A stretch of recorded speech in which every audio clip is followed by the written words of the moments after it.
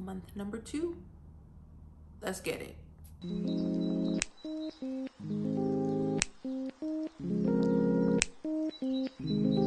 Hey, hello, my name is JoJo and welcome back to my channel. Or if you're new here, welcome. So, I can't believe it's time for my second update video already. Like, these months are flying by. Like, I only have a month and a half left in this semester. That's wild. That's absolutely wild to me.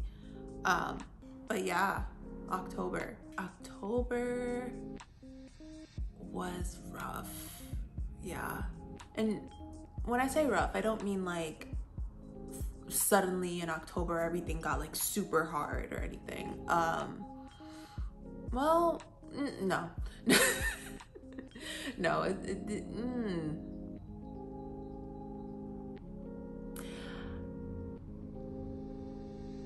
Think more than anything, in October, everything kind of just piled on, if that makes sense and I I got really overwhelmed for a while.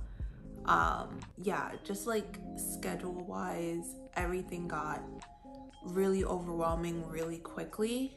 Um and I don't think I was fully prepared for that. Uh but I made it work.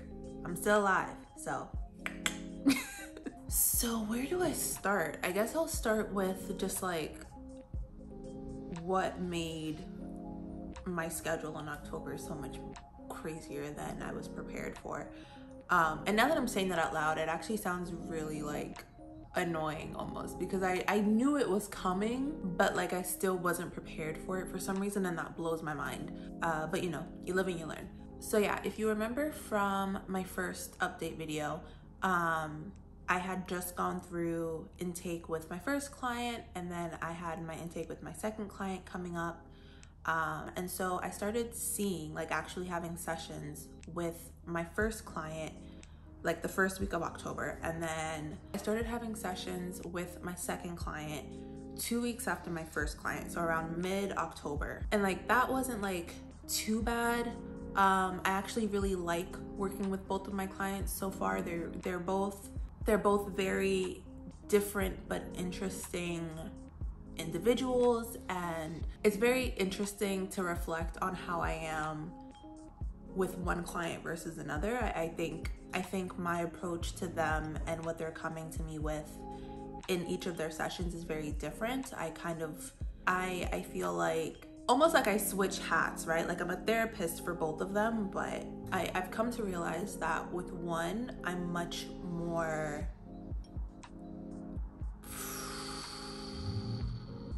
I'm much more I'm trying to find the right word to use. I, I, I would say I'm I'm gentler with one than the other. And, and that's not to say that like I'm a hard ass. Um, because I'm really not. But it's it's it's easier to be more direct with one than the other. And I think that's really interesting. So, yeah, I, I just think it's very interesting to reflect on who I am and how I kind of operate differently with each of them. Um, which I think is pretty cool. But that was totally off topic. I, I don't know why I went on that tangent. but yeah, I started seeing my second client two weeks after I started seeing my first client. Um, and that wasn't too bad. And so I currently see both of my clients on the same day um, because that's like the day that I have the most availability and it works for them. Um, and then I had to schedule my first session with my testing volunteer prior to November 1st. So I had the very bright, not so smart idea to try to have all of my clients on one day of the week. And so when I had to schedule my first session with my testing volunteer, I scheduled the session on the same day that I see both of my my therapy clients. Um, and that was that was the day that led to my demise. I I had so my first therapy client is at 8:30 in the morning.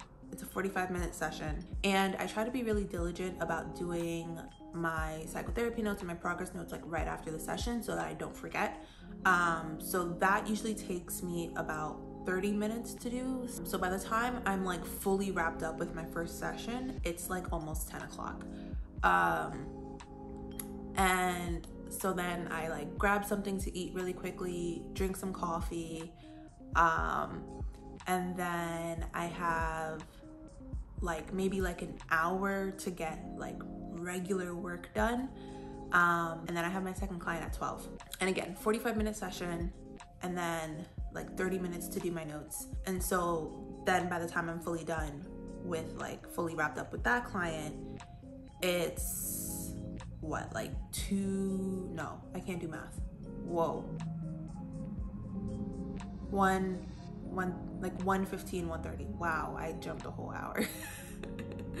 uh, by the time I'm fully wrapped up with that client, uh, it's like 115, 130. Um, on this particular day that I had my testing volunteer, I scheduled a three hour testing session from 2 to 5 p.m. So I had like 30 to 45 minutes between my second client and my testing volunteer.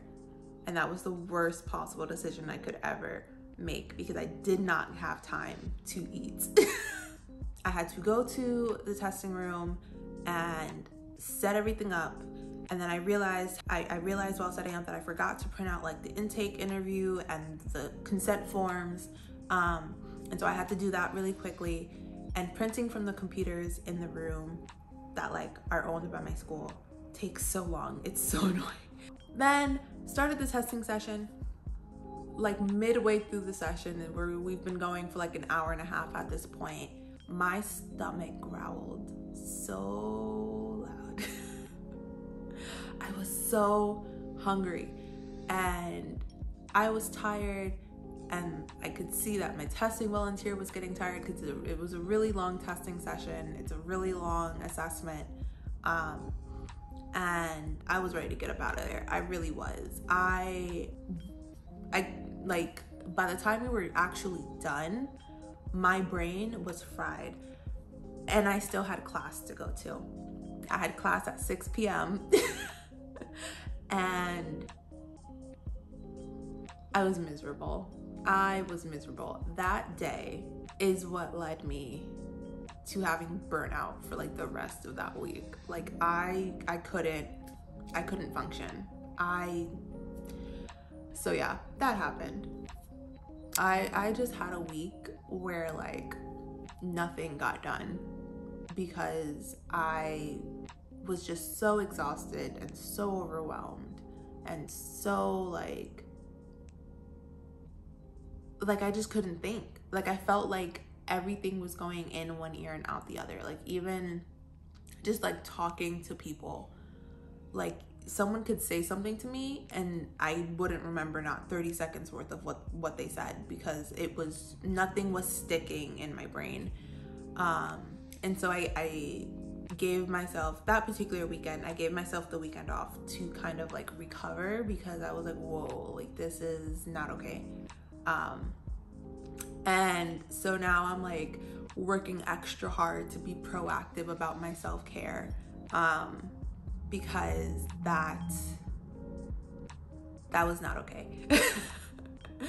um, so I'm still I'm still exhausted. I have like this chronic exhaustion uh, that I feel, but I am working and I'm trying, and it's great.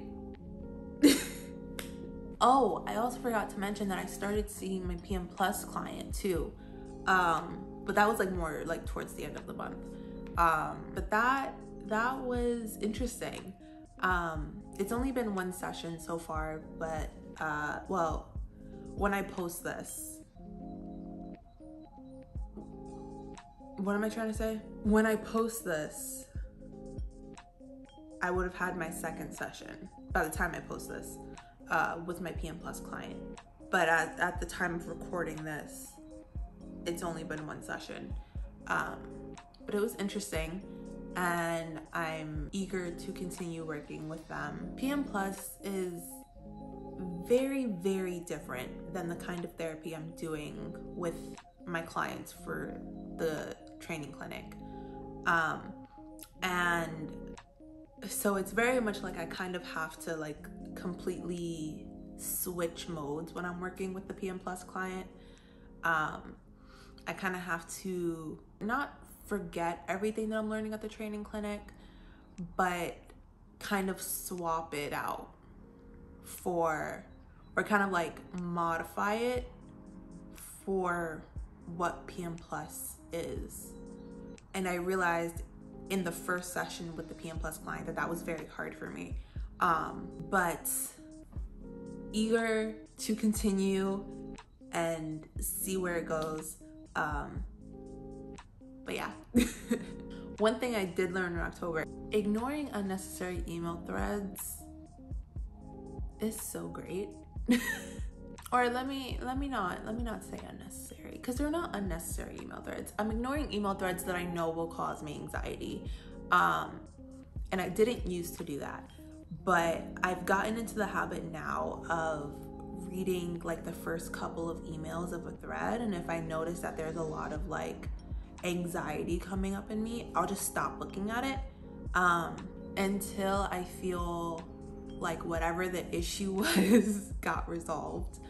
Um, the good thing is that within those first few emails that I do read, I'll usually be able to tell whether or not I need to give my input on something. And if I don't, then I just ignore the thread until everything gets solved. And then I look at the solution. I'm like, okay, cool. I'm glad we got here. You know, but the whole back and forth question, answer, problem, possible solution, not really a solution, another problem, new solution that conflicts with the first solution. I don't, I don't subject myself to any of that. Um, so, needless to say, a lot of decisions have been made without my input, and I'm just like, that's fine, I'll make it work. because the process of getting decisions made in this program is fucking stressful. it's so stressful, and I don't want any parts. I don't want any parts of it. Um, so, yeah, ignore email threads if you can. It's great. It's great for your mental but yeah, other than that, uh, nothing really new to update. My classes are still the same. Actually, at the time of recording this, have just registered for my spring semester, so looking forward to that. Um, I bought a weighted blanket. I love it. It's my new best friend. I literally cannot sleep without it now. Um, by far one of the best investments I've ever made for sleeping. But yeah, other than that, uh, nothing really new to update you on. I've, I've gone out a couple of times with like people from my cohort, but other than that, I live a very boring life. So that's really it. Um, so yeah, thank you for watching this video, especially if you made it all the way to the end. I truly appreciate it.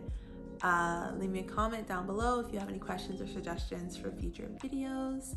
Family, if you're watching this, I love you. Mwah. And what else do I usually say at the end of this video? Oh yeah. Uh, as always, like, comment, subscribe, and click that little notification button so you don't miss my next upload. And I will see you in my next one.